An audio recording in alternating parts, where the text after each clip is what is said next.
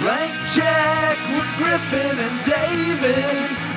Blank check with Griffin and David. Don't know what to say or to expect. All you need to know is that the name of the show is Blank Check. You are cordially invited to a podcast where everyone wants to podcast the podcast. No. Except the podcast. Ridiculous. Ridiculous. Yes. Six. Hi, I'm a classically, vintagely sleep deprived Griffin Newman. I'm a classically, vintagely irritated immediately David Sims. And this is one for the record books. Uh huh. Ladies and gentlemen, what's that? Do you hear it in the wind? He's always crazy. He's always crazier when he's like this. There's a storm a brewing. What's that in the horizon? It's no guest. He hasn't been sleeping. a new no one's seen the movie. miniseries. Yep. Uh huh. da, da, da, da, da, da, da. Riding into town. A new miniseries. Yeah. It's exciting. You sound thrilled. It's exciting. This, of course, is a podcast called Blank Check. We are hashtag the two friends. It's a competitive advantage. We're the only friends who host a podcast together. That's right. There are married people who host a podcast together. But we're the only friends. The Yeah. only two friends. That's that's the other The thing. only two friends. and some, you know, I think this movie proves that a good relationship, a good romantic relationship, a good marriage also requires an element of friendship. But look, You want to get married? maybe. Okay. But also, then we'd lose our advantage because I feel like we, we keep it so The two husbands. simple, so pure. We could be the two husbands. Yeah. I think. Uh, how quickly do you think we would get divorced? Removing the fact that we have no sexual chemistry together. Which is an issue. An honestly. issue. I'm going to complain I, about I'll say it. this: not insurmountable, but an issue. It's an issue. I mean, um, I tend to really suffer through and stick relationships out in my history. Okay, So I feel like things would have to get real bad. But you, that's a challenge to me. right? Yeah. Yeah. exactly. You would rise to that. I Like, think yeah. I would rise to that. Um. Uh, people get tired of me very fast. Uh. Yes. Yeah. Yes. It, it is astounding how quickly and strongly people can grow to resent my existence. right. Right. Yeah. Right. Right. Um. Anyway, of course, this is a podcast about our relationships. Um. Yes. Sorry. No, our relationships with the movies, filmographies, directors who have massive success early on their career and given a series of blank checks make whatever crazy passion projects they want. Sometimes they clear and sometimes they bounce. Baby. I thought this was a podcast about relationships. I, that was a misdirect, Ben. I was joshing producer Ben. I was just kidding, Ben Deucer. Yeah. I was goofing around, Sure. Producer Ben.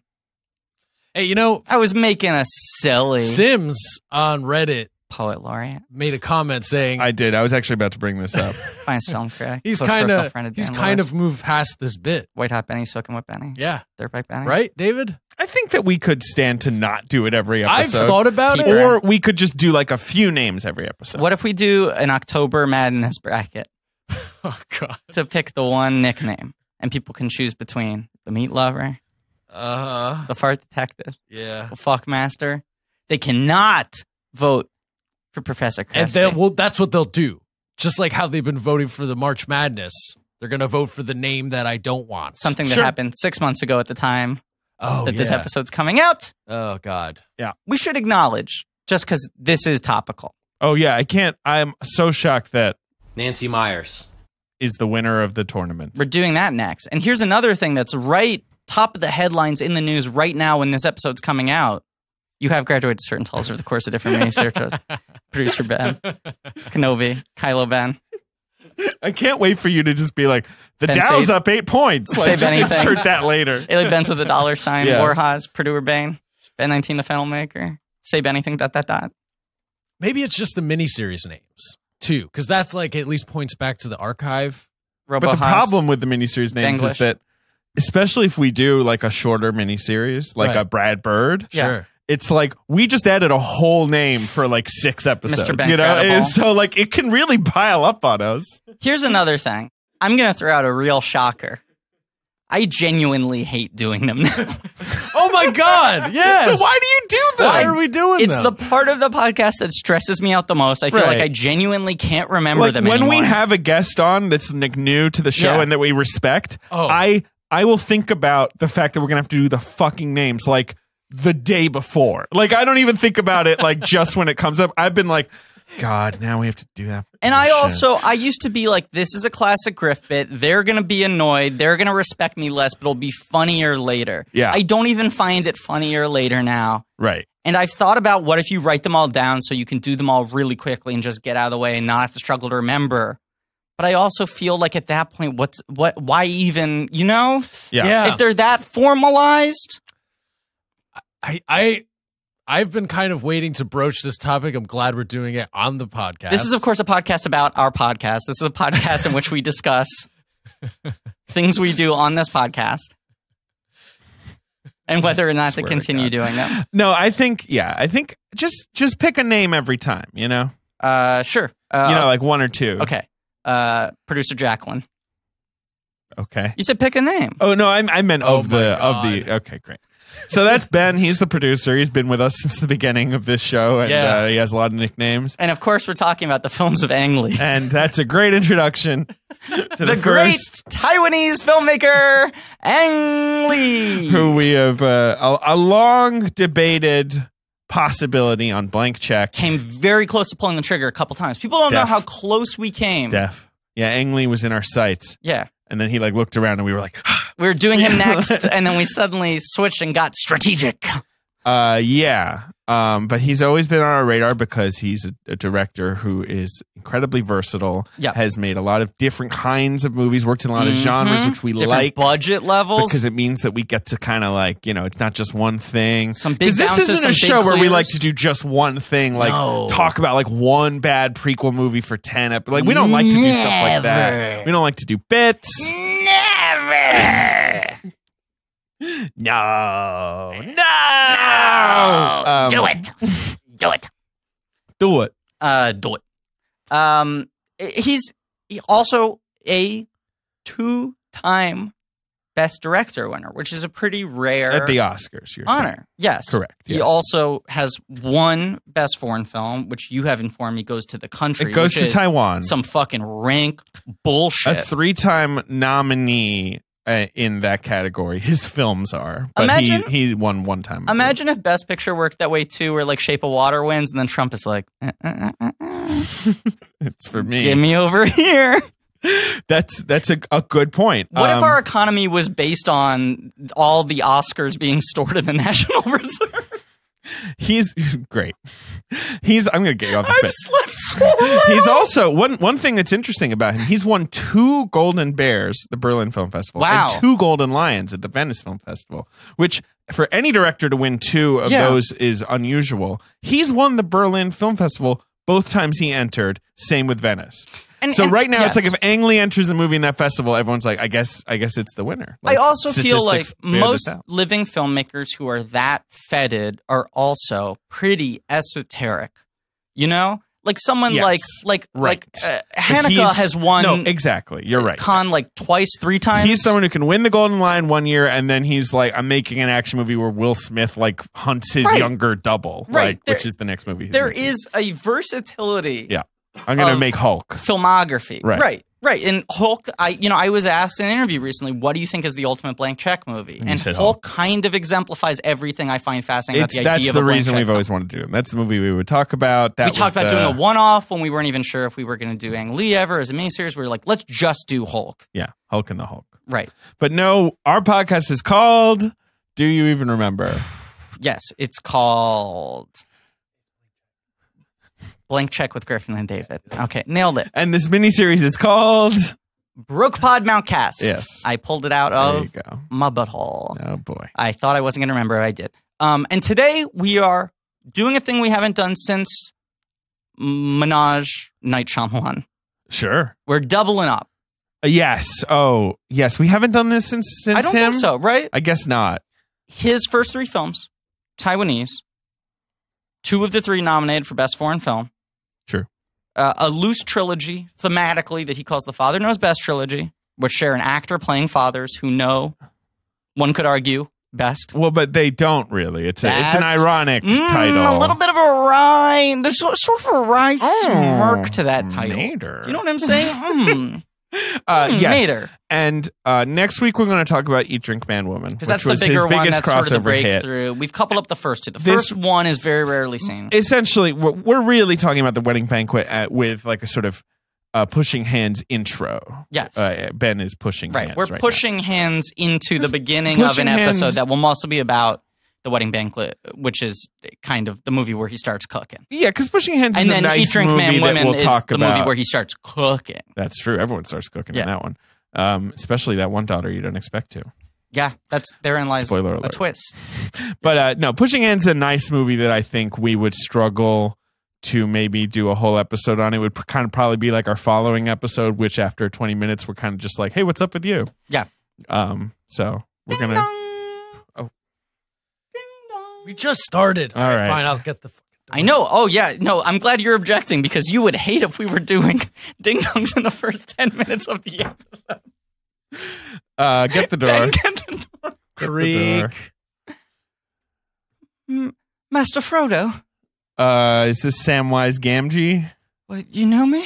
Uh, Yes, you're a small, You're very famous. Well, then you footed must know my friend Master Frodo. Ha- Have you, seen you're Master always Frodo talking anywhere? about him. No, I haven't seen him since about 2003. Didn't he? Where did he? Where did he go? And I, I don't know. I haven't seen him since 2003 either. okay. I Okay. think he got on a boat with Bilbo.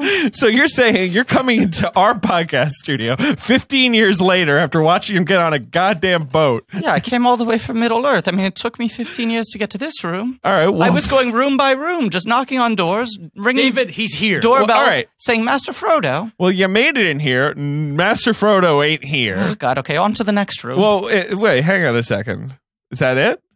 Well, I have a very specific issue that I thought only Master Frodo could solve, and so I have to keep on ringing doorbells until I can get an answer from Master Frodo. There's no way you could All right. help Well, me. just I don't like you, and you've for some reason really I don't know touched a nerve with like me. You're really feel like pushing my buttons. I'm a good friend. I'm But- a kind man. I still just the the circumstances of your situation are so sympathetic that I guess I'll offer to help. So at least tell me, you know, what's this is up. one issue so esoteric. There's no way you would be able to help me. I just and again, I want to make this clear. For some reason, you're really getting on my last nerve. I, I, it's always been hey, true, hey, Okay. Chill. Okay, I will ask. I will ask. but I do want to help. Like you know, on paper, does that make sense? Master David? Yeah. I have a problem. Okay. My feet are just too hairy. okay. Well, David. For some reason, I didn't see it coming. Genuinely. Well, David. Yeah. Do you think you could suggest something I'm to going to our leave. friend I assume Sam? you have no response. We've been on this. All right, look. I'm walking Sam- out the Sam, door. What? Just hold on for one second. Master David. Um, you've never listened to the show. It's, it seems because No, I've I, listened. I've listened. I'm a big fan. I'm blanky. Well, that's good to hear. Thank you. Your Um, was a context, then right? maybe you've heard me talk about the amazing eye shave from get amazing shave that I get from my Dollar Shave Club razor. Oh, Now I use it on my face, yes, right. but it's a razor. It shaves hair very effectively.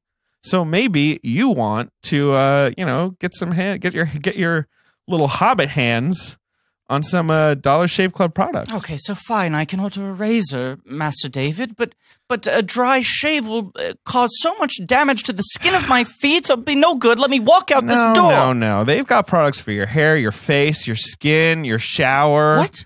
Everything Shave you butter? need. And it's the yeah, shave butter, butt wipes, Wait a second. replacement cartridges, Wait a second. body cleanser. Wait a second. Uh okay, I'm waiting. You're telling me they could solve my stinky butt? I'm I, I didn't even want to I daren't even ask my You second swampy conundrum. Mordor butt. I have a Mordor butt. Well, My butthole looks like the eye of Sauron. if you join the Dollar Shave Just so Club, long gone unwiped. all right. It burns like the eye of Sauron. Uh, you don't have to go to the store, which I assume is is far away in Middle Earth. More like the you. brown eye of Sauron, you know what I'm saying? Master David. uh, you can give gift memberships to your fellow members of the fellowship. Merry Pippin. It- all those friendly folks. You can give them e gift cards. You can cover all your holiday shopping with Dollar Shave Club. You say Hobbit Day shopping? Um, yeah, uh, Hobbit, Hobbit Day Day shopping? shopping. Uh, so here's a great way to try a bunch of Dollar Shave Club's products. For just five bucks, you can get the Daily Essential Starter Set. Comes with body cleanser, one wipe Charlie's, their amazing butt wipes, their world famous shave butter, and their best razor, the six blade executive. Keep the blades coming for a few more bucks a month, and add in shampoo, toothpaste, or anything else you need. I must find this promo code. I shall travel all the way No, to Mount no, no, Doom. no, the only way. I can find this promo Ben, code. grab him. Literally grab Hey. him. Okay. You can check it all out at dollarshaveclub.com slash check. That's dollarshaveclub.com slash check. Okay, so checkin.com and then check that you Samwise- typed it in correctly. You fool of a Took. That's a different one, isn't it? it's just go to dollarshaveclub.com slash check. Oh, well then off I All right, shall get go. him out of here. Get him out of here. Ah, Yeah. Go. All right. Can I say something? Yeah. That guy's butt reeked. I mean, he's from the fantasy world. Smell it They all the don't way from over here. Yeah, and he's also having second breakfast all the time. You know what I'm saying? That's a good point. That does I mean some real damage on your gastrointestinal tract. Um, so so far we've uh, introduced the name of the mini series, talked about our love lives and what would happen if we were married. So we're talking about two films today. uh, we're talking about the opening two films in the career of one Ang Lee, the great Taiwanese filmmaker. A man who originally wanted to be an actor. Is that true? Yes. I didn't know that. And was so overcome with stage fright. He felt like he didn't have it. Like he Interesting. was so in love with He does seem, drama and film at that point yeah. that he went like, well, now I just got to move parallel. Well, he does seem like kind of a timid guy. Anytime he's Yep. like accepting an award, he always seems very like sort of softly spoken and lovely. Very much which so. is funny because his reputation as a director is like you know a really like uh, f- smart forceful guy who will like get exactly tell you exactly what he wants and uh, D- doesn't mince words, uh, but I- doesn't mince words but I yes. think he's not, uh, you know, he he's not a hothead. no no he's he no Right. Um, he's he seems to be very i remember when he won it may have been a BAFTA for Brokeback Mountain. I just Okay. remember that Kate Winslet was presenting. I think Uh-huh. it was at the BAFTAs. And when it was him, you could tell how genuinely happy she was. Like she Yeah. like screamed with delight and like gave him a big hug and like, you know, cuz they worked together on sense sure. And he and he makes very uh, empathetic films. Yes, yes. Um, but he uh, goes to NYU. Uh, well, excuse me. Oh, okay, okay. he was born in Oh, we're going all the way back. wow. Long time ago in a galaxy Far, far The year was 1954. His parents had moved from mainland China to Taiwan after the Chinese Civil War. Okay. Uh, he grew up uh, in a. He went to school. His dad was the principal. I think his parents were very like, Yeah, you know, you're going to get yourself That does sound like the plot of an early Ang Lee It, film. it does. His father knows best. Uh, he failed to get into uh, university in Taiwan, which is like Okay. you have to take some sort of a, a unified test. At least back then you did. And he failed it twice to the disappointment of his father, according to Wikipedia. Yeah. Maybe his father wrote this Wikipedia entry. So He's never gotten over it. American film school was kind of out of necessity. Well, I always assumed it was like a strategic move. First, he went to a national arts, the National Art School in Taiwan, which Okay. is, uh, which sounds, I mean, it sounds pretty good to me. But I Yeah. guess his dad was like, well, you know, uh, but uh, he so he, He got- wanted his dad wanted him to go to principal college. Uh, exactly. He got into uh, film there. He got Mhm. into drama. He saw Ingmar Bergman's film *The Virgin Spring*. He Okay. his talks about a lot how much Ingmar Bergman was a big deal to him. Almost like that film was I don't know a Rosetta Stone. Uh, he did his mandatory There was a military service. there. He wanted to sort of replicate. He was in the Navy, it, it sort of functioned as an ur text for his career. Is that what you're saying? sure, and then he went to the University of Illinois What? and completed his bachelor degree Okay. in theater. He wanted to be an actor, like you said. Thank you. but he struggled with um, English. He Uh-huh. was still he was still like a, a, a weak English speaker at that point. He meets his wife Jane Lin, cool. who he's still married to, who's like a Humble microbiologist, uh, and um, enrolls at Tisch. Uh huh. For Gets an graduate, yeah, gets an Right. MFA. Yeah. Hangs out with Spike Lee. a contemporary. He worked on. Spike Lee's thesis films, uh, Joe's Bed-Stuy Barbershop. Yeah. and uh, he does a short film. His thesis film is called Fine Line, Okay. which apparently aired on PBS and I then was adapted into the uh, film studio Fine Line Features. Of course. Thank you. yeah, Um, it became that Hootie and the Blowfish song. Do you have in this giant leather bound volume of context on Ang Lee's career that you're currently reading from? Do you know? Uh, can you look up when he crosses paths with James Schamus because that becomes the key collaborator I know. That's from the a- very beginning. I know. It's a good point. Like, what? Because it's interesting. That Schamus, I believe, was not an NYU guy. Yeah, there's very little on. I'm sure if I do some proper research, I can find out. You know, James Schamus is he's a Jew from Michigan. Right. I think quietly the most interesting figure in the last 20 years of independent film. Right, because he was such a, a big part of Focus Features, which was Right. He's like the one guy who's um, like as you much know, of an artist as he is like a movies in lot studio of head. Uh, yeah, He had a production company with Ted Hope that was combined with some other companies to form Focus Features, and then he became the guy there. And he was like acquiring films, green lighting films, working out distribution deals for other films, and also writing Ang Lee films that like spanned like genres. Like he's this real I know. He obviously yes. You have to talk about James Schamus when you're talking about Ang Lee because he literally co-wrote Pushing Hands, his first movie. right. and I, obvi- maybe they just met in New York when uh, Ang Lee was at Tisch. I don't know, but all Yeah. I know is that he submits Ang Lee submits Pushing Hands and The Wedding Banquet, two scripts, Mhm. to a competition sponsored by the Taiwanese government. Okay. They came in first and second. Jeez. So, uh, like some promoter in Taiwan. Mhm. Is like, why don't you make pushing hands? Like, you, Okay, why don't that you seems do like that? the easier I'll, first I'll invest film, in this sure. movie, and uh, you can uh, you can put this together. So we're going to talk about that first. We're going to talk about pushing hands. Yes. So the things that unite these two films, they are both set in the United States. true. They are foreign language films about Taiwanese people. Are both in New York? Uh, no, because I had a hard time figuring out where Pushing Hands was pushing hands is in like this New York suburbs. It's- Right, I mean, it's not because they in go the into city. the city later in the film. Yeah. Okay, set in the suburbs. Uh, wedding banquets in New York proper. Oh yeah, yeah, it's in the fucking village, man. yes. Uh, oh, p- please, like downtown Griffey Nooms doesn't know that. All right. Um, and and so they're interesting foreign language films set in New York City with mixed casts. starring this uh, sort of respected but essentially retired Mm-hmm. Taiwanese actor who Ang Lee kind of like drafts out of retirement. Who gives a trilogy, like a triptych of great performances as Yes, three does. different types of fathers, Yes. It, that's what I like about it the most is he's the different in every one. very different. His in name everyone. is Sihung Lung. Yeah. He's in this one. I feel like he's at his most sort of confused, Mhm.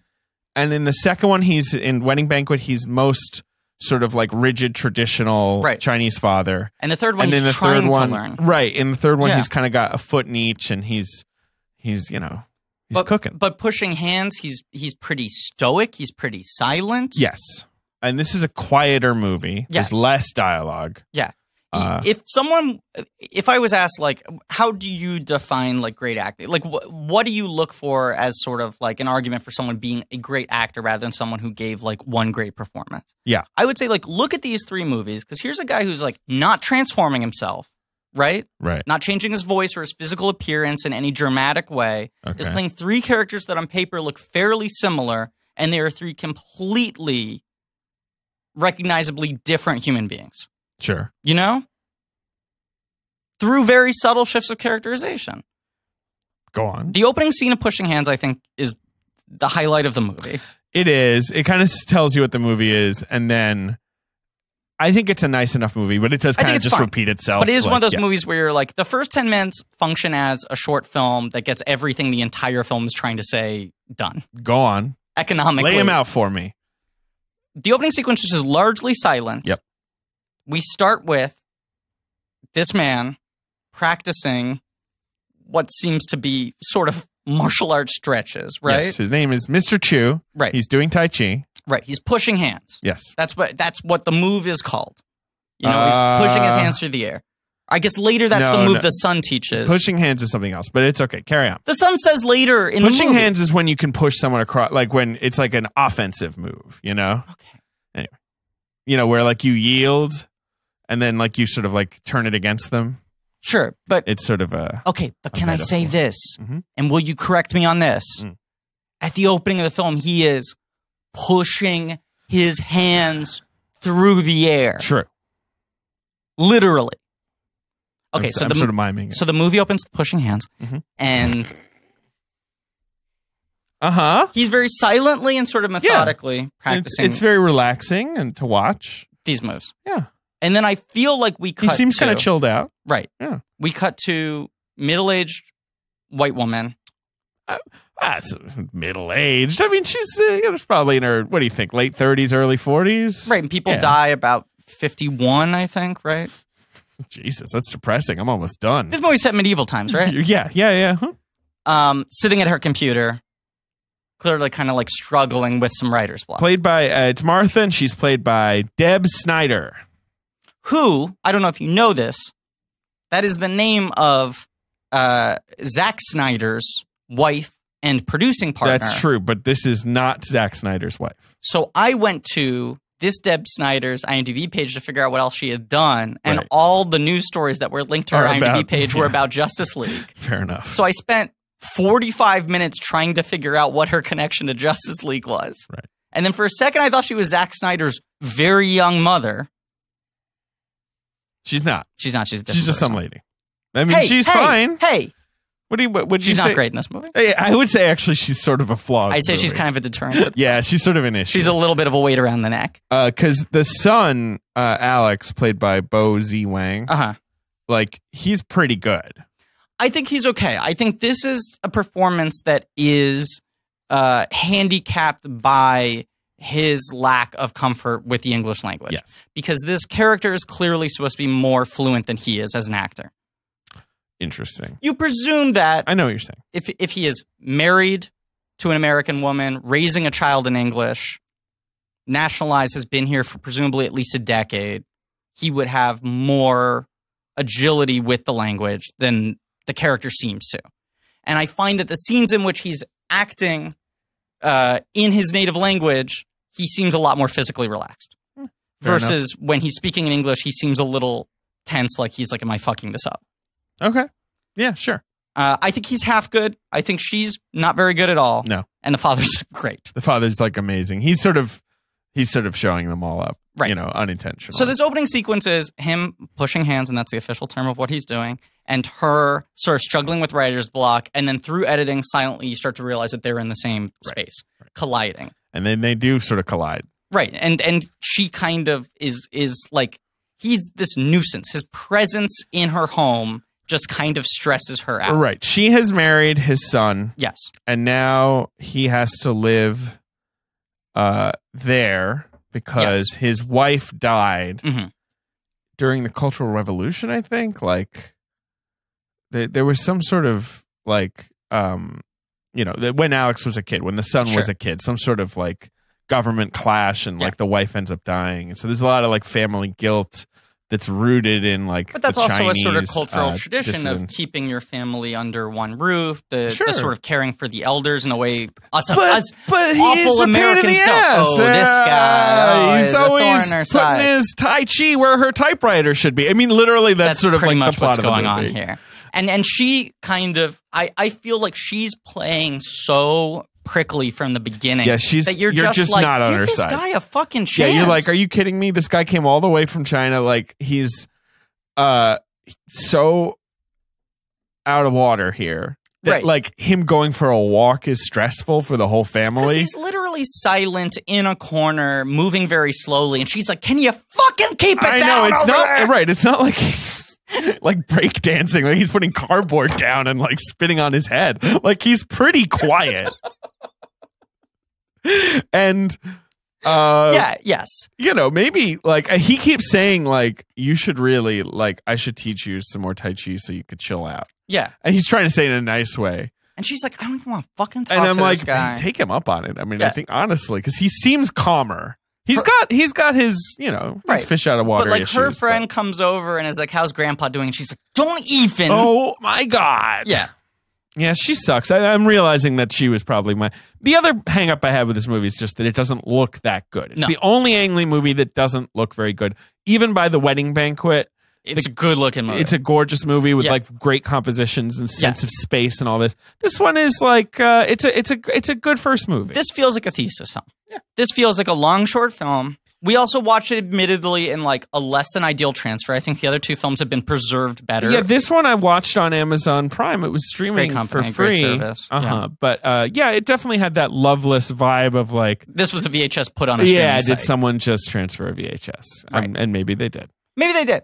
Um, but it it has certain good sequences. It has certain good moments. But the film is kind of repetitive of just them trying to figure out this this balance. You know, the son feeling this obligation. You don't understand. In my culture, we don't abandon our parents like this. I need to be there for him.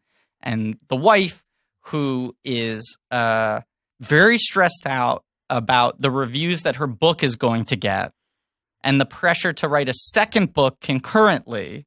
Right. I forgot about that. Right. But she's just constantly. There, there's no vulnerability to this character, I find, in how it's played. You know? Yeah. Uh, it's not that I cannot. Uh, uh, care for someone who is stressed out in a way that Yeah. makes them unpleasant. I get why she's stressed out. you do, but but i everything's played at such a like reactionary kind of fever pitch. I right. The good stuff in Pushing Hands is the dad hanging out with Mrs. Chen, the widow, Right. who's the cooking instructor at like the community center, and like their relationship is nice. You know, I like anything. stuff is Mr. Chen when he gets the job at the restaurant. Like Yeah. all that shit's good, and he works really slowly and methodically, and the boss wants to fire him, and he just oh, like oh yeah, stands Right. his ground, Hey, and then literally stands his ground. There's this great extended sequence, he yes he like pushes him across the room essentially. right? But he's also like, if you want me out of here, try to get me out of Right, here, right, and then it right. just becomes an immovable force. He becomes like Amen. planted in the ground, and you have like six cops who get reported in. Then he sends like thugs in to try to like knock him down, and the guy won't move. Fun. It's all very Fun. everything that happens. You're like, I get it. It's I get a culture it. clash. Even though we're talking about this movie as a trifle, Yes. It won some awards. It won some awards. It was feted. Yeah. It's like a solid debut. I mean, I think the movie looks worse because we know that literally every literally he's five minutes. after that. also, like five minutes from now, we're going to talk about the wedding banquet, which, Which is, is- good, right Yeah. significantly better. right? And it's only made a year later, so it's like, oh, he, you know, because like, uh, what's it called? Praying with anger to Yeah. wide awake to sixth sense is Sure. like a near ten year arc, Right. and like the improvement is gradual and then sudden. Right. Whereas this is like he made one movie, it's pretty good. A year later, he made another movie, it was amazing. Here, a year later, he made another movie, it was better. Like Right, you know, it's right. sort of like He he has such a, an accelerated growth rate here, which we haven't covered later, a guy like this he did Sense and Sensibility, right? Right. Yeah, yeah. um in a while where we've covered a lot of guys who have debut films that are pretty professional and polished even if their later films get better. Sure. This kind of like Piranha 2 yeah, we haven't had it probably praying with anger. Like 2 here, you're watching a real kind of first draft film. Yeah. Where if you saw this at a festival, you'd be like, "This guy might be a good director someday." There's some moments that are really fucking well observed in this. Movie's not great, but there's some really good stuff. So I think if you saw Right. this as a first film, you'd probably give it a little more praise because of the potential you sensed. Agreed. But if you're watching the wedding banquet, like literally five minutes after you finish watching Pushing Hands, as I did, you're like, okay, well, forget about. I'm never going to think about go. Pushing Hands real shit. ever again. Uh, how does it end? Pushing Hands ends with uh That's a good question. I'm trying to remember. I don't think. I guess he moves out. He, He gets he gets with the lady. he he goes on a walk with the lady. He says he knows he wants the wife wants him out. Yeah. Kind of starts crying. Yeah. He's good. Let's talk about the wedding banquet. Yeah, let's talk Oh, about actually- the wedding banquet. What? No. We're gonna play the box office game, Oh great. my friend. What I was gonna say though is like you look at like praying with anger, I think is like not very good at all, right? Not very professional. No, it's a it's a it's a bad movie with a little hint of promise. Right. Yes. Then Wide Awake is an amateurish film. right. Wide Awake is like a mediocre film that I have a soft It's a bad for. film that's at least competently made. it's very polished. Yes. Like it's very like money. professionally produced and it has one incredible joke. It has one of the greatest jokes of all time. Shut up. Quiet. the movie is called Wide You Awake. need a, sh- a prod. Shock him. He's barely awake. Quiet. He's so tired. He's All right, all right, all boy. Shut up. Shut up. But then Sixth Sense, you're like, where the fuck did this come from? Uh, exactly. Yes. Uh, This no. These three films, it's a more traditional build where you're just seeing him going like, okay, it's I a got that out of the 45 degree angle Yes. essentially. It's just sort of like doop doop doop. Yeah. Right. Okay. So box office. This movie must have burned it up. So this movie, the reason this is interesting, Yeah. is it didn't come out in America until after Oh, right. Wedding Banquet and Eat Drink Man And it was like, here's the first film from right. It was advertised as from the director of the Wedding Banquet the and Eat Drink international Man Woman. sensation. Yeah. So it comes out in June 1995, Okay. not long before Sense and Sensibility. You know? Yeah. Right. Okay. Uh, it made 152 Million thousand dollars. dollars. okay. Uh, so So it comes out right in the middle of summer blockbuster season. number one Uh huh. is a movie we've talked about on this podcast. Have You've we covered it or just no, talked about it? We've talked about it. Uh, Were you going it's to a say children's you- film. A I saw it in film. theaters. You probably did too. Casper? This is fast. It's fast. It's weird. He got that. Super weird. In its second weekend, it's made thirty-eight million dollars. It makes a hundred. Yeah. One of the best American even. films of the 90s. Whew. Casper's a masterpiece. Silberling, is it? Don't at me. Silberling, our next miniseries. No. Number two. A fine American director. Number Brad two Silberling. is one of the the better and more underrated films in like the very big uh, filmography of a a very big deal director. Well, that's weird because Casper: A Spirited Beginning No. wouldn't have come out at the same time as the first Not Casper. talking about that. But you said one of the best and most underrated films of the Of 90s. it- it's a and that was dir- direct to video. I so said don't of a even know- director, Right. certain director who right. You said made. director to video, which was Casper: Spirited Beginning, which was, of course, the prequel to Casper. I want to get through this box office game. It's a romance based on a famous book, like a hit book. I Bridges of Madison. County. Wow. Thank you. Good job. Have you seen it? No, I It's a people Clint Eastwood like it, film. right? To be clear, great movie. Javier Bardem said that performance is is uh, yes, one of his he, favorites. He draws from uh, yeah. Yeah. that performance. It's Yeah. a great movie. Um, number 3 Mhm. is uh, just an action sequel, a big hit of the summer. Okay, but once again, great movie. Casper: A Spirited Beginning would not have been out. Don't think that's an action movie. It's an action movie. It's a big sequel. It's one of the big movies of the of the summer. Yeah, it's a great movie. Number two Three. Oh, oh, oh! Is it, it's no? Well, three. It's the third in the series. is Batman Forever. Nope. It's the third in the series. Is it the final? no, no. But it, there is a bit of a break after this one. Takes them a while to make the fourth one. Interesting. in a weird sort of way. Like they probably should have made the fourth one pretty quickly. so would you say Because this movie's good. Like, does the fourth one happen in a different decade? yeah. The Yeah. Fourth the fourth one's like twelve years later or something. Fourth one doesn't come out Turn your phone off. until 2007. Roughly, something, Something like, that. I can't remember. it's remember an exactly. action film. Huh. Does it is it a star vehicle? Yeah.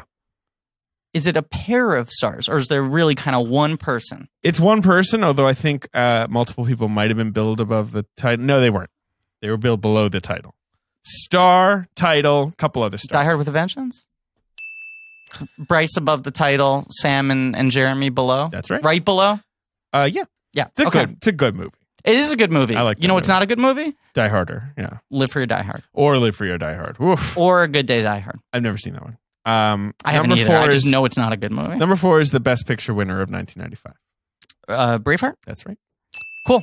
And number five is another movie we've talked about. I love this movie. Casper: A Spirited Beginning.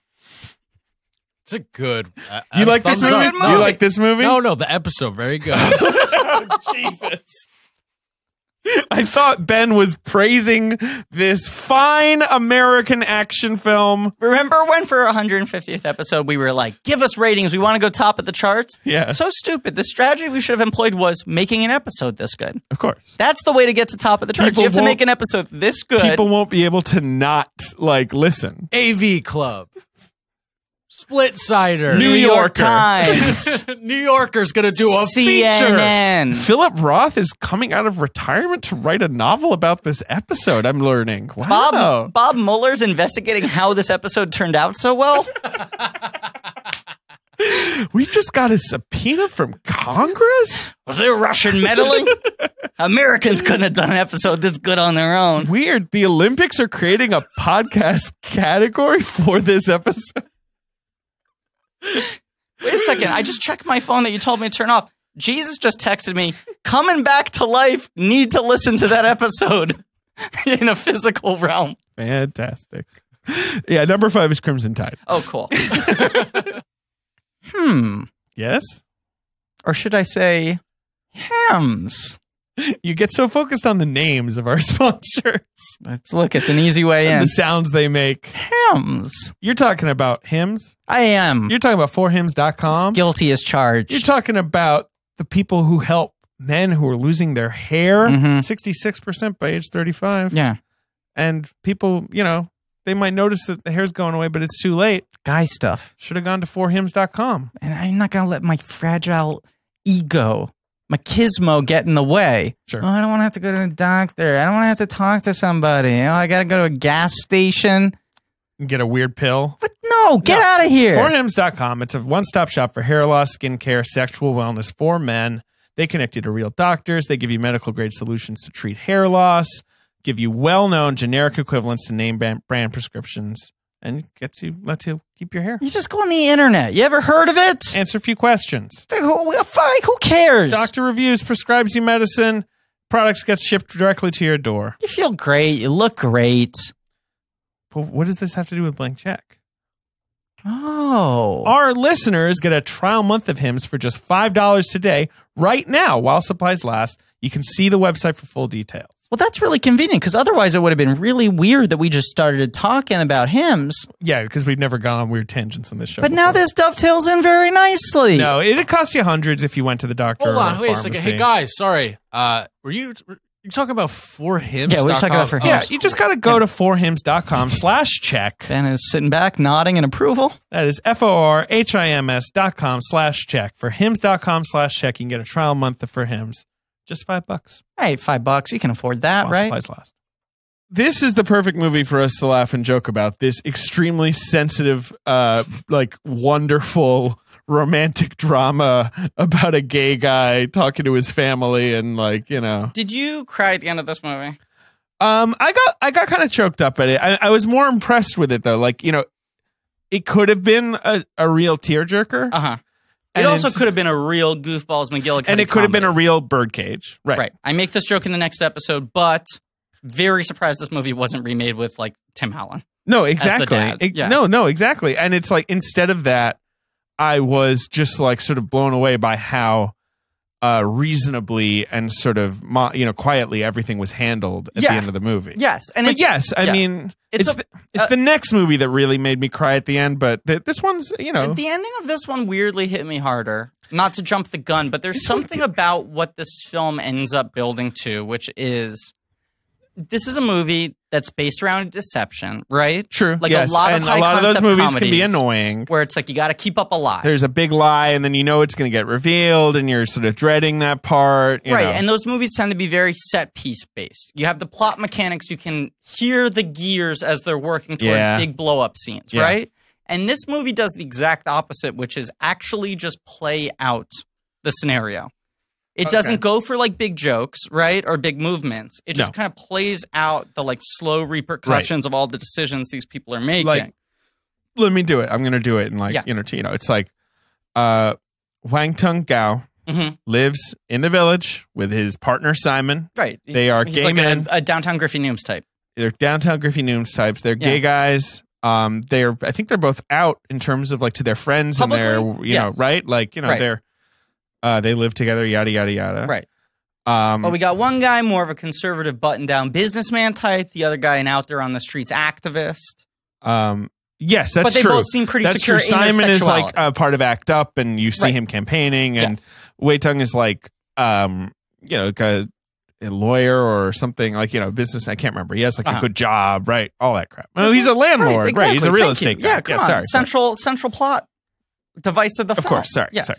And uh, but you know what I'm saying is like he's he's making decent money. But he They is got a nice place. he is open enough Yeah. that when he goes to check in on his tenant who is behind in her rent, she fully knows the Yes. deal. She knows the name of his live-in Wei Wei. boyfriend. Right. May Chin's character, Right. She is a So- painter. Sure, sure, sure. But here's what you know. So Yeah. he's this is his situation. His parents, who live in Taiwan, Mhm. They're always like, "When are you gonna get married? Right. You're gonna marry a nice lady." They they grandchild. they like hire a dating service to find him like a nice lady. right.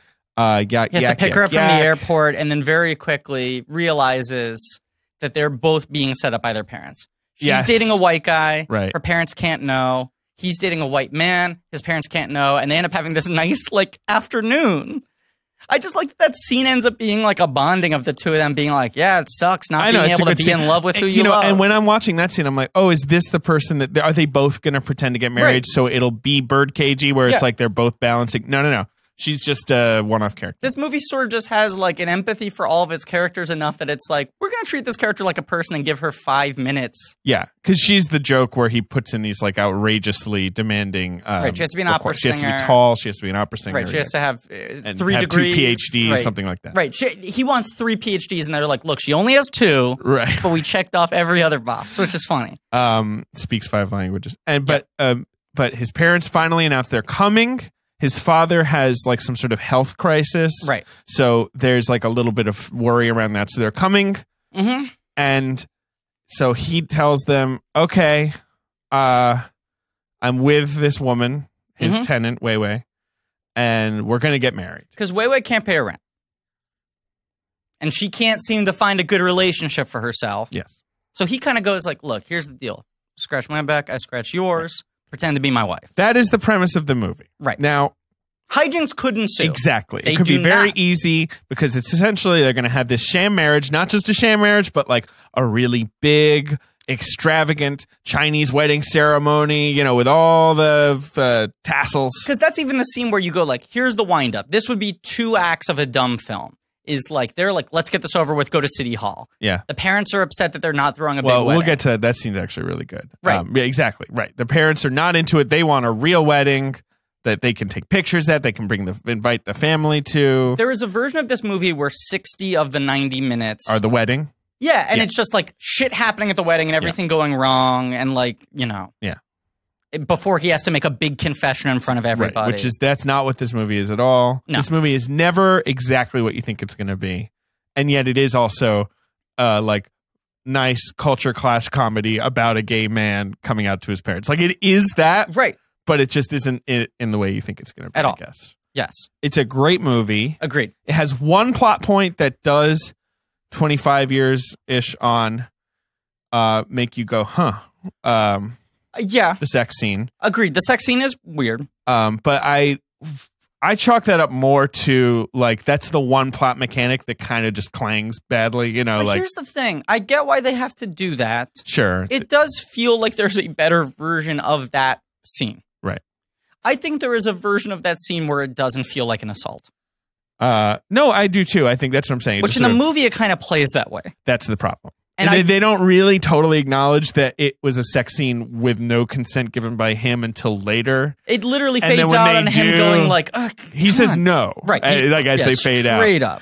Yeah. Um, uh, but then later they kind of acknowledge that, but also they sort of brush it aside. Anyway, But I that's, also that's the one thing where you're like, "Oh." that's the only way you can get to no, that. it's not what that's not what that Right. actually is. Right. Because the way that they address it later is that his boyfriend is like, "Yeah, I get shit happens, you know, whatever." Like, you know, so they should have just been like in close quarters for a long time. You know, they They're kind drunk, they're drunk. They just got married. Like they sort of like because the idea of this even movie the is there's for them being tradition. naked in the bed is just like that's uh, totally earned by Yeah. this weird ceremony going on around exactly. them. The idea Yeah. is this the the tradition around them that they put around them in some ways to try and satisfy everyone. You know, it's Right. pushing in tighter and tighter, and like this is a movie They're very sort much of about pushing hands. I think that's the exact term. The official term is pushing hands. I think pushing hands is Yeah. the exact term. Official term. David is typing in pushing hands to verify. Oh, I was typing in uh, assassins for hire. We should use ZipRecruiter. Re- yeah, I should. Yeah, that that should be our next the ne- next ZipRecruiter ad if we do one is uh, me trying to find someone to kill you. And you thought our marriage would last. you thought that you would be the one who could stick it out. Genuinely, let's get back to that for a second. Yeah. What would you bring to the marriage? I'm a real sweetheart. You are, you are a sweetheart. Because like for me, it's like I can bring a lot of like I'm good at like cooking and sort of keeping things running. Like Paying I'm rent, not getting kicked out of your apartment. well, I mean, yeah, sure. I mean, I do it. I pay the rent. Yeah. I grouse about it. yeah, you're more organized. Yeah, I'm a little more organized. I feel like I would provide some of the stability. Uh, Yeah. what what are you bringing here? Because I'm I'm just guessing that you're not bringing some. Oh, a little spice. A little bit of spice. Don't you just want to like uh like um be at home and like watch movies and Yeah, play that's with what I like toys? doing. right. That's what yeah. I like doing. I like putting some hand candy in my mitts, some And- plastic hand candy, And you like watching uh, some talkies. e- eating um like the worst garbage food. Yeah, I'm an old garbage belly. Right, like ordering chicken tenders from the diner on Yeah, Seamless or but something. once again, I'm a sweetheart. yeah, you are. You're a real Um. What do I add in a relationship? That's a good question. This is maybe the You're saying- question I should have asked Right, this myself. this 10 question's years cutting a little too deep. Like, is it one of those like joke questions where you're like, "What do I add?" Huh. Like Ben, what do you bring to a relationship? I think I have uh, a spirit for life. Joie de vivre. Yeah. Uh, I think like I I'm like I walk in the room and it's just like things get brighter. Have you ever? I agree. One, I agree. Have you ever done um, speed dating, Ben? Like the uh, where you like switch tables every five minutes or Follow up whatever. questions: Have you ever taken speed? Uh, no So- and yes. yeah, pretty much how I expected that one to go. So, The right. Wedding Banquet, a nominee for Best Foreign Film at the Academy Awards. Yeah, and and uh, actually, I want to find out who it lost to because we brought that up at the um in the Eat Drink Man Woman episode. We we will bring that up. Um, it lost to, I think it's a like a real, yeah, Belle Epoque. Uh, Yeah. Oh, yeah. No, no. Eat this should have won. This should have won. But you know what? Uh, it's up against Farewell My Concubine, oh, weird. and uh, that also is like a very good movie that Should've won. like is a plausible winner. Maybe I don't know. Maybe the two Asian foreign movies film, a lot of that. Like cancel each other out. Like I not you that know, movie fucking Detours winners. or whatever it was called win. A lot of times, like, yeah, I mean, you know, often a very middle of the road movie will Well, win, but this is like a pretty fun movie. but, he- like, but here's the thing to talk about, okay? yeah, Because now the rules have changed. Back then, not every Oscar voter was allowed to vote for Best Foreign Film. no, you had to have seen the movies and all that. Yeah, And the way you had to have they seen them was old. no. But do you know what they used to do? Go ahead. You used to have to go to an organized screening where you watched all five films in a row. Uh, yes, It wasn't about right. screeners, so you had to be like, I have nothing to do on a Tuesday. Right, it was all like eighty year olds. and you'd sit there and watch ten hours of foreign films. Right, right. So usually the one that was just about like old people being old, and the one that was like the least offensive would win. Yeah, yeah. Things have changed. Times have times have changed. The wedding banquet. hmm Wa- Wait, till- so I, yeah, we talked about the basic setup. Right. Uh, he's got traditional parents. They are played by Sihung Lung from the last movie. He plays Mr. Great Gao, his dad. Yeah. He's really good in this. Really fucking good. because he's very vulnerable Yeah. and like frail in some Mhm. ways, but also like you. I want his praise. yes. In this movie. That that scene early on when they arrive and they they have the like the um uh, Wei Wei does the sort of uh, calligraphy speech like Uh-huh. where, where she's obviously like made sure to study calligraphy because she knows that's what uh, her new dad likes. I love the training of the cooking too. it, like yeah. just but like watching him be satisfied yeah. is very rewarding. Even though it's not like he's like a big smile on his face or anything, he's just like quietly happy. He's Yeah. also not playing a one-dimensional grump, so you feel like his all. approval is attainable. like weirdly the most one-dimensional character is is Wei Tung is the main character Agreed. and only because like he's so often grumpy because he is at the center of Yeah. all this uh, scheming you know Right. um May Chin hmm plays Wei Wei his his wife hmm uh Gua Ah-leh plays his mother she's so good I mean, she got an Independent Spirit nomination. I know. she's so fucking good Um, can I can I throw out uh, uh, a thing I found while looking up this film? Yeah. May Chin, because I was like, she's so good in this. What did she do after this film? sure Okay, she only is in five movies total. really on IMDb at least She's in one film in 1988, okay then The Wedding Banquet five years later, Magic Sword the same year, May Jane, in which she plays the title character the following year, and then her Are you looking at film, her IMDb page? Yes. Just to let you know, she's been in 200 movies. Where are you looking? Uh, uh, Wikipedia. It's just they, they don't put like every like foreign language film, like Taiwanese movie, on there. Okay, well then, so disregard everything I just said, but what I'm gonna say next is still interesting. Go ahead. The last film they have listed for her here is called Woman Soup. Great, great title. That's interesting fact number one. She was in a movie called Woman Soup, and the fact there is there was a movie called Woman Soup. Oh, that's the whole fact. No, I have a better fact I'm getting oh, to, Oh, okay, but I okay. want to let people know that a movie called Woman Soup exists, and the plot synopsis is that it is a bunch of lonely women who go to hot springs together. It sounds that's that's, that's great. So they That's form a a woman. suit. Woman Soup. Yeah. That's fact one. Fact two, May Chin. Since 2001, May Chin has been a member of Taiwan's legislative body. Telling me I to knew. stretch for time. Yeah.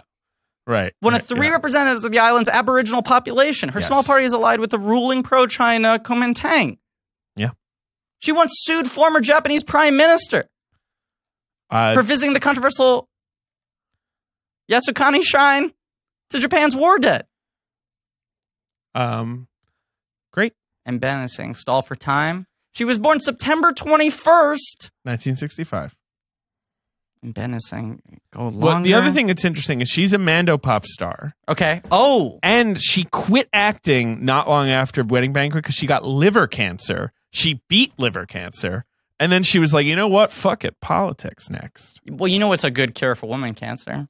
Woman cancer. Well, now I, I mean, you know the joke I was going to make now. I was going to say liver cancer, and then I was going to say the cure was woman soup, and I've ruined everything. I mean, I've I literally, would we had a perfect episode up until this point. I would say that was the least successful chunk we've ever done on the show. It was bad. That's not true. That's not true. No, I mean, it's, um, it was really good. yeah, thank you. That's accurate. Uh, you know, just listeners, Griffin's ego has gotten so massive after the tick that we're just having to like massage everything. What do you What do you got here? Uh, so, The Wedding Banquet, a great film by a great filmmaker. Mm-hmm. The wedding, yeah, the wedding banquet. uh, you get this. This is a thing I like about this movie that I think speaks volumes. Okay. All of them just live in the house together. Yeah, sure, right. They Okay. don't create that much of a like false narrative. They don't like Mrs. Doubtfire it. That's true. It's like so the parents arrive and Wei Tung is like, so here's my place. This is my roommate Simon, and here's my uh, girlfriend who I'm going to get married to. right. And they're like, yeah, that all makes sense. We're from Taiwan. People all live in a house together. Some, you know, like there's Right. no like uh um complicated scenes where it's like one guy's in one room and a door's being held closed or someone's on the phone and you're And- switching between lines. And or, like you know. Simon's always at the table with them. Simon's always like involved in everything. They like Simon. traveling His his Mandarin is like decent, so they're sort of Oh, fond of that. Yeah. Like yeah. Simon's pretty chill dude. They try to do this quickie city hall marriage. Simon, played by Mitchell Lichtenstein, who then went on to direct Teeth. He made Teeth. You know what else though? What? Teeth with uh, what's Jess Weixler. Yes. Yeah. Um, he's the son of Roy Lichtenstein, I know that. the artist. oh, cool. Isn't that crazy? I love that artist. Yeah. Yeah. Um, and you know, You know how I could tell? Because you watch the movie when they zoom in on his face, it got a lot of little dots on it. yeah. Thank you. We're being chill, but I mean, like, this is a movie that comes out in 1993. Yeah. I mean, obviously, it's not like some colossal hit, but it made like 25 million bucks worldwide. oh, I'm sorry. You want to talk about not some colossal hit? Okay. Here's an actual interesting fact. Okay? Mm-hmm. The Wedding Banquet, trivia. This was the most financially profitable film of 1993, earning 23.6 million for a budget of 1 million. Right. Gave it a cost to return ratio of 23.6, considerably higher than Than that Jurassic of Jurassic Park. Fair. Um, yeah. And uh, Winston Chao, who played the lead role, had never been in, an, in, in a film before. He was an airline steward. That's crazy. really? That's crazy. Yeah, a handsome airline good. steward. He's very handsome. He's very Let's handsome. not beat around the bush. No, not at all. Um, no. I so- beat around his bush, you know? I guess so. The handsome bush. is- The parents are coming.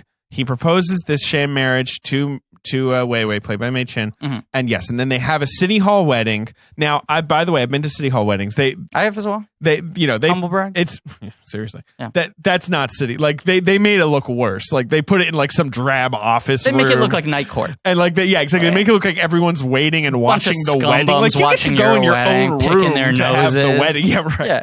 but I still like that scene because again the parents don't put up a fuss Yeah. they're like I guess we just grin and bear this and then finally the mom just starts crying because it's so depressing like it is so antithetical to what she wants I think a masterstroke of this film is that the parents are trying to understand the Right. entire time. They're not. They are a roadblock in the way the tradition is a roadblock to his way of life. Uh huh. Uh, way of life. I mean, he's gay. He's But they're they're not pointedly stubborn.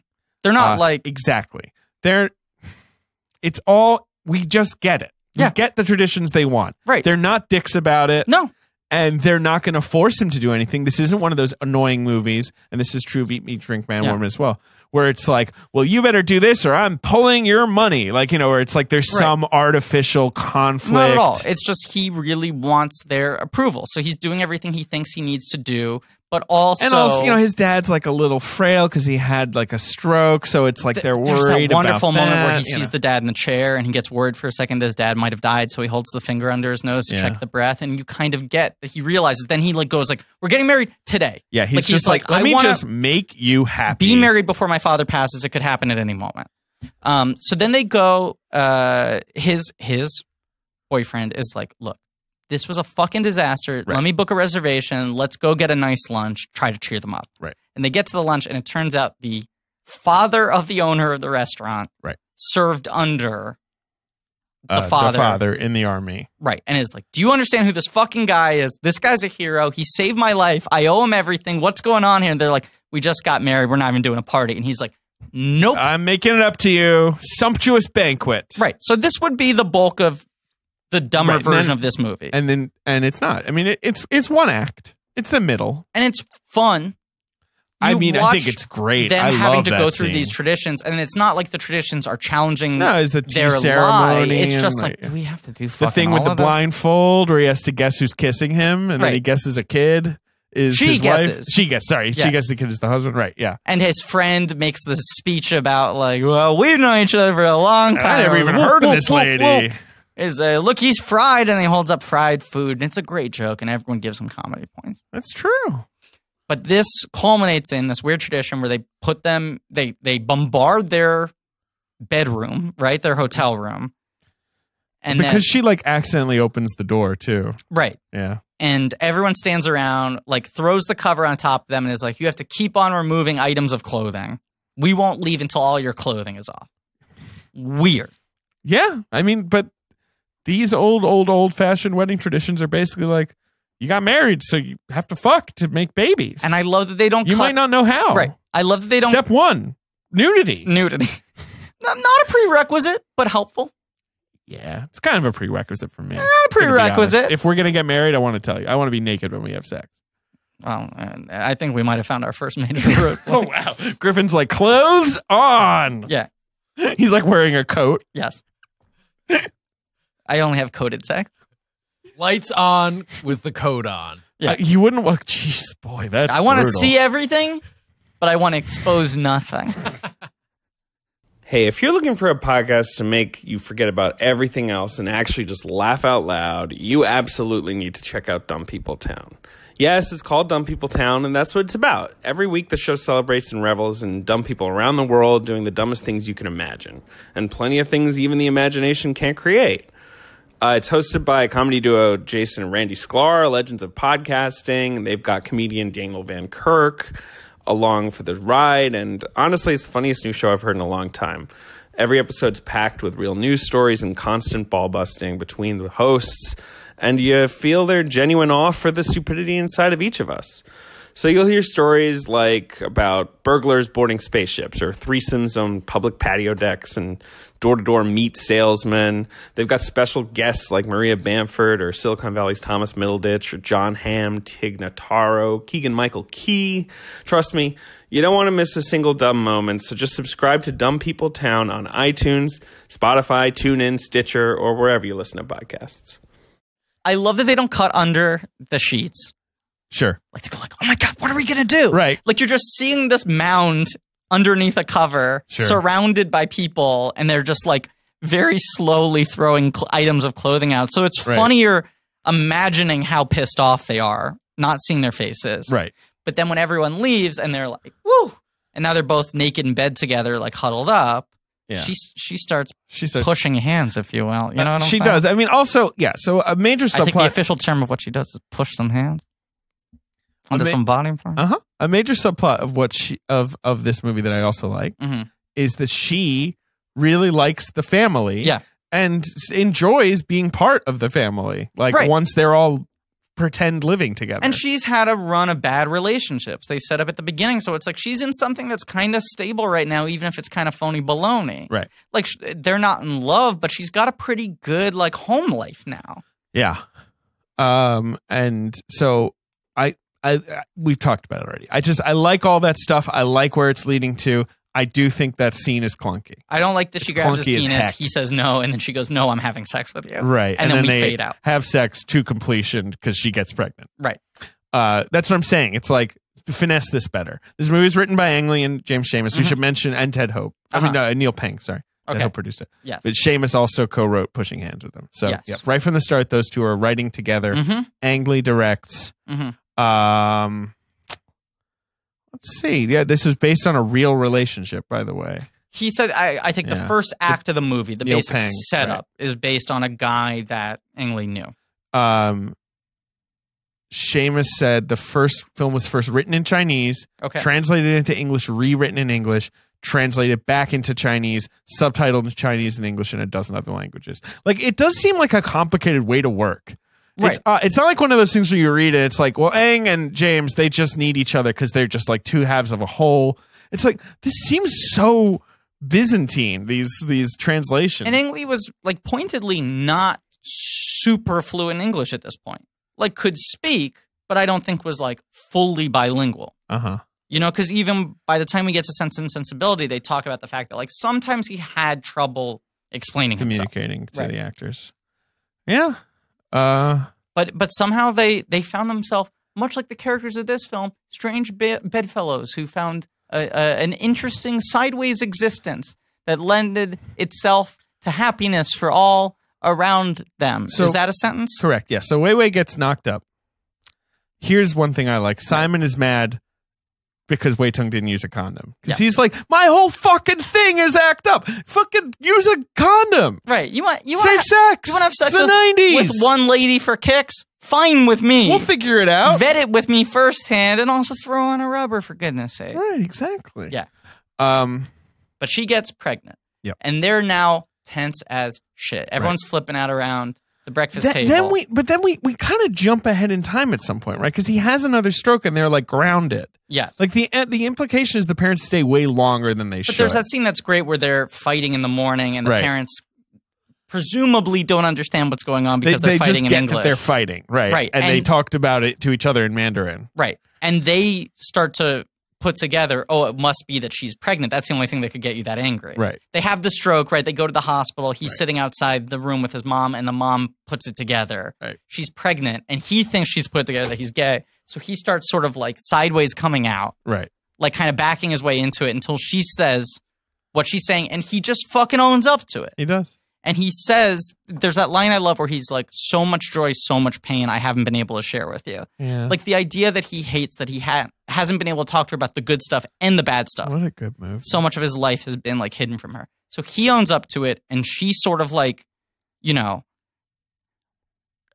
i don't get this. I don't love this. You're my son. Of course i love you. I accept you. You cannot tell your father. Right.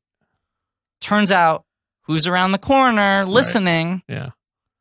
Big Daddy. no. He's in the hospital bed. Who's around the corner listening? way way Oh, right. and uh, Roy Lichtenstein yeah Jr. so now they Mitchell. know that he told her Yeah. I yeah, I, I kind of forgot about this part. Yeah. Okay. because i Right. like this web they build at the end of the movie where like everyone doesn't know what everyone else knows but all of them have somehow come to some sort of understanding with someone else Sure. like they're all kind of cool with everything without knowing that everyone else is cool with everything I just yes.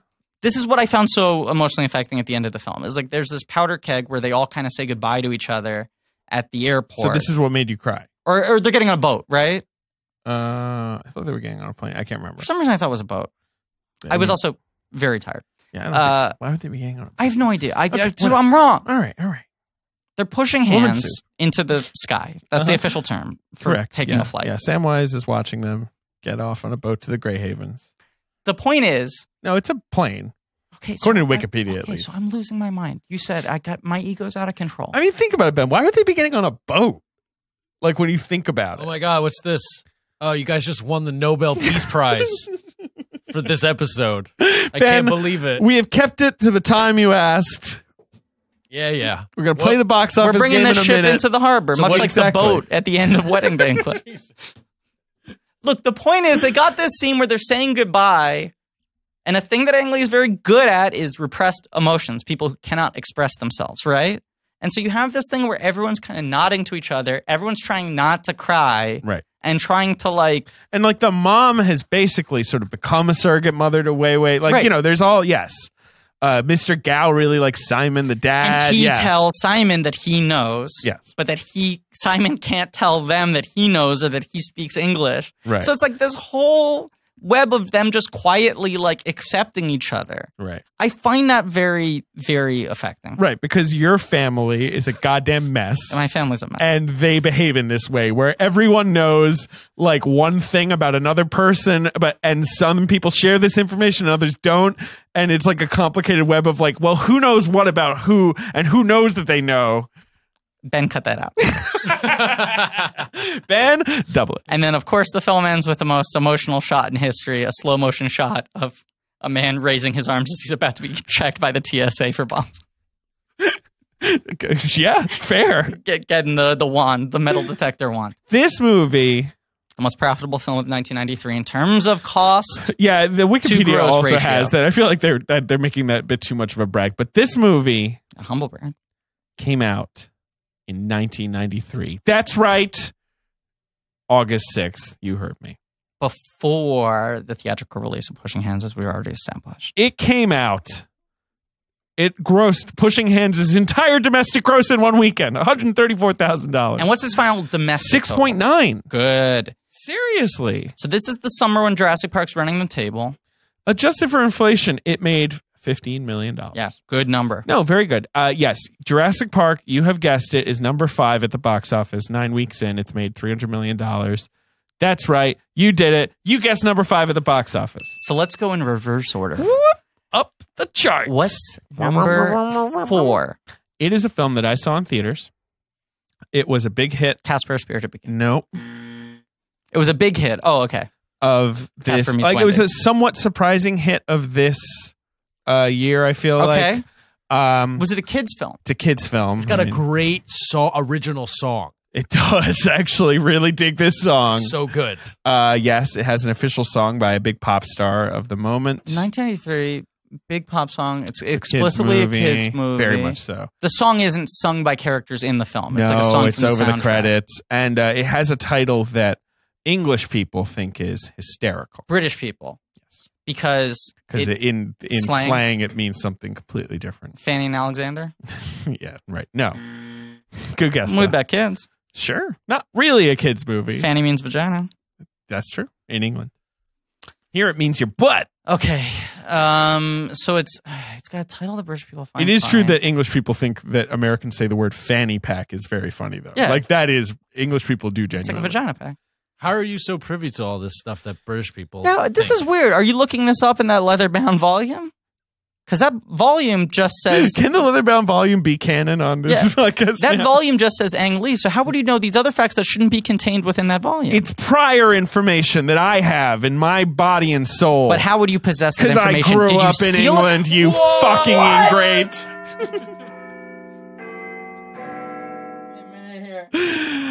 oh boy. Oh. Okay, I threw my headphones down to the ground Yeah, for he real. may have broken them. I might have broken them. 993, it's a kid's film, has a pop song in it. I did break these headphones. Did you really? Yeah, I did. It's a good bit. I full on broke. I mean, talk about bit commitment. I full on broke. Well, no, no, no, No, no, no, no, no, no, no, no. I just You just dislodged it. I dislodged just it. dislodged It's it. not a big deal. I just dislodged it. No, I'm relodging. He got it. Thank He you. Got it. 1993. He literally did that. It was very stupid of him. 1993. It's got a big pop song. Kids love it. British people guffaw. They do. They genuinely do. And they made it a live action. Live action. Live action.